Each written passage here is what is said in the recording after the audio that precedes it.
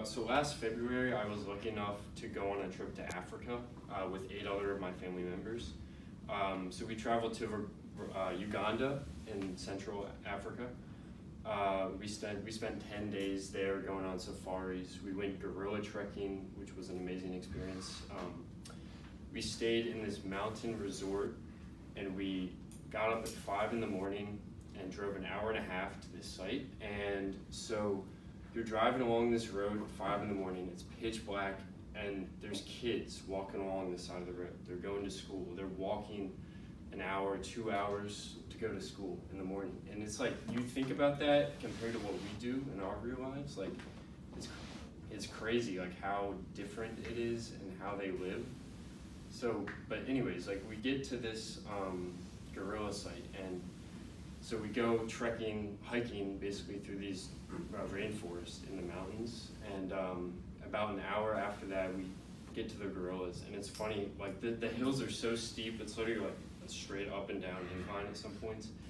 And my grandfather, who's about 275 pounds and has uh, replaced hips and knees, uh, he can't really do that. So what they do for people like him, they have a stretcher, and they have eight or ten guys that work for them that live in like local villages and stuff. They come and they they follow us through the mountain and they carried him like on a stretcher, like a hospital stretcher, up these mountains, like and we get to these gorillas and we spend an hour watching them in their habitat and it's like the most amazing thing. Like you see them like it's a family of ten or twelve and there's little babies like jumping around in the trees and the big like silverback, which is the father of the the tribe. He he's like 600 pounds. He's huge, and he's just sitting there. And we have a video of him. We're all standing around watching him. He's eating uh, like off the trees and stuff, and he just gets up and he like he beats his chest and he runs like five feet in front of our faces, and it's like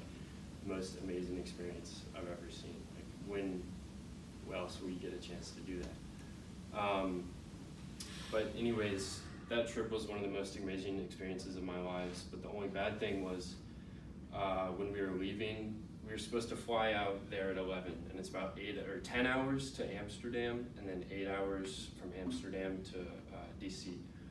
And so our flight got delayed until four in the morning. So we ended up spending 30 hours uh, traveling to get home, but it was definitely worth it.